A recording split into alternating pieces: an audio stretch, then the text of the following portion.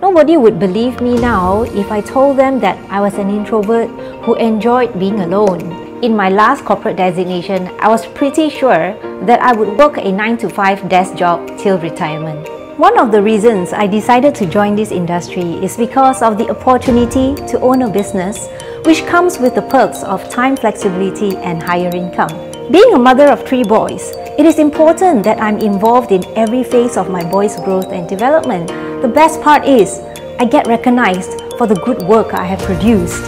Also, being a female leader in my team gives a different perspective to how we can drive business forward. I am a living example of the great things that can happen to you. Don't wait. Your life can become better when you take the right action with the right people.